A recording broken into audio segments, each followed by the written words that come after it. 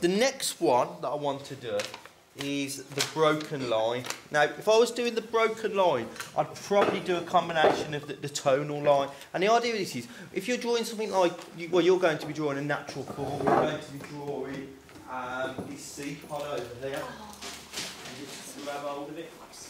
Uh, now, you wouldn't draw the entire outside of it and you wouldn't draw every little circle in it. Otherwise, the chances are you're going to have horrible uh, dark lines you're going to want to get rid of. But if I was drawing the outside of this, I, I'd definitely use broken line. So a broken line, and I said it's a combination of um, tonal lines, but you just leave gaps in between it.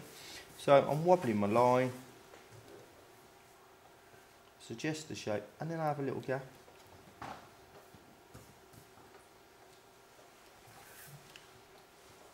So forth.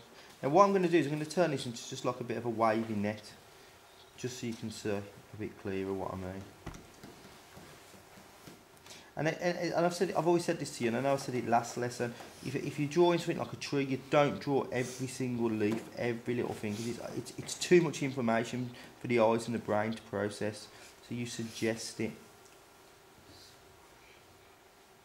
And then when I go the other direction,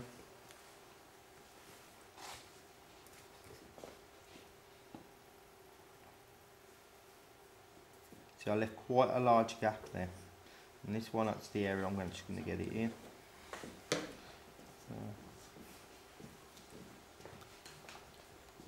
it's like a, a net with gaps in it. So can you all can you all make out the gaps that I've put in there? Yeah.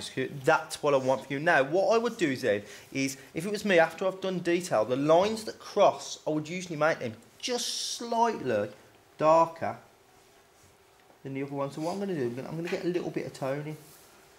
So that all the lines across, just make them slightly darker. Do the other areas too, if you, if you think the bits that are, that are raised that look like they're a bit closer to you. What I'm doing is I'm getting a little bit of tone in there as well. Because when you look at texture, it isn't all the same darkness. It's, it's how the light catches it that, gives it its, its high lights and its low lights and its shadows. Right guys, can you have a go at doing that then, broken line? Can you make sure you're writing the name of these down please?